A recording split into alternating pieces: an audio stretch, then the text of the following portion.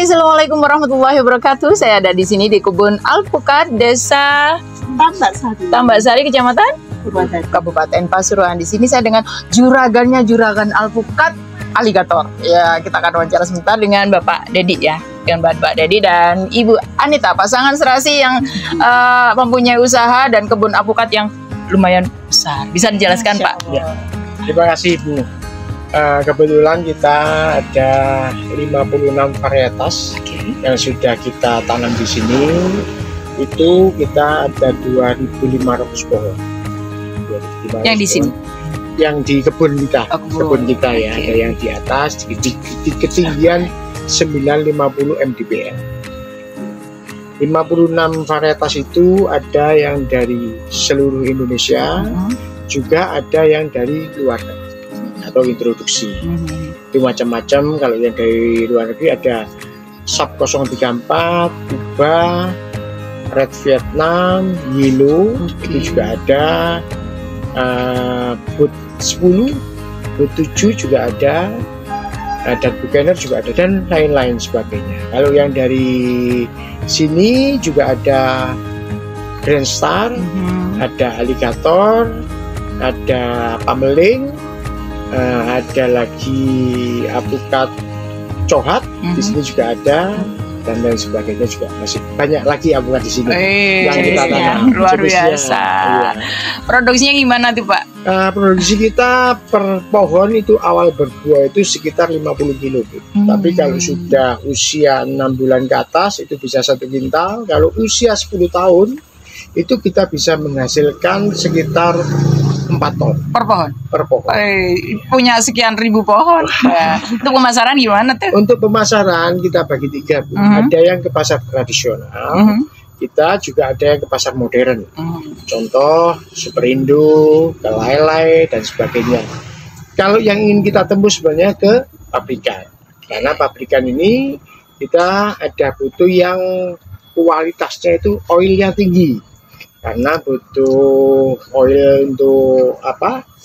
eh kosmetik Kosmetik. itu kan butuh oil bu ya Hmm. itu dan kita juga kita bagi apukat ini menjadi tiga kelompok Mhm. yang pertama adalah buah meja Mhm. buah meja itu nggak terlalu besar bu ya nggak terlalu besar tapi dimakan tuh enak Mhm. creamy kuning nah kalau orang ngomong biasanya orang Jawa itu ngomong mertega ya kan gitu ya Itu jenis apa tuh sebenarnya? Iya, jenis itu contohnya apukat cohat, apukat Miki, ya, itu apukat Joseph, dan banyak lagi apukat apukat ah, yang enak dimakan bu ya. Itu yang kecil. Terus yang kedua kita bagi jadi apukat eh, untuk olahan.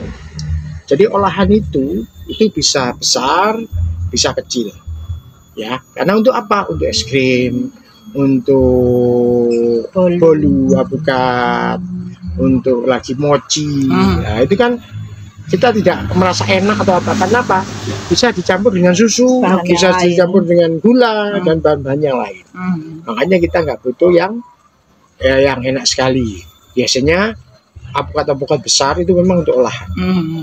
untuk jus untuk apa Hmm. itu kan juga nggak perlu apa apukat yang seperti buah meja Oke, tadi ya oke. besar pun oke karena ditambah susu ditambah gula gitu.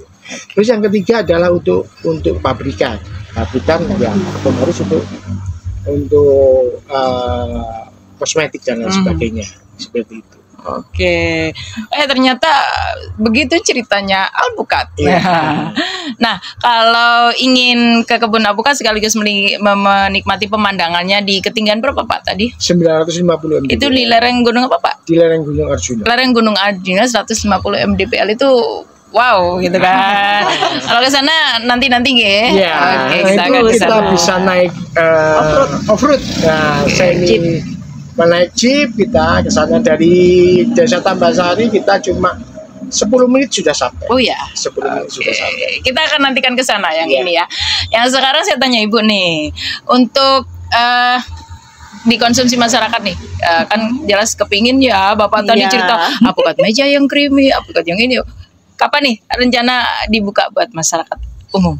Kalau sebenarnya kalau masyarakat bahkan luar kota juga sudah banyak yang tahu bu, karena eh, kita nggak pakai launching atau buka, mereka sudah dari mulut ke mulut. Oke. Dari kan di sini juga sudah lumayan, sudah lama, sudah lima tahunan. Jadi Aha. ketika awal panen itu juga banyak yang sudah tahu. Mereka biasanya teman-teman saya dari dinas, dari keluarga, Hmm. dari teman-teman yang di luar dinas juga, saudara-saudara banyak yang saya ajak ke sini awalnya. Kemudian mereka bercerita dari mulut ke mulut, Oke. akhirnya banyak yang tahu sudah. yang sudah ke gitu. sana lari Iya.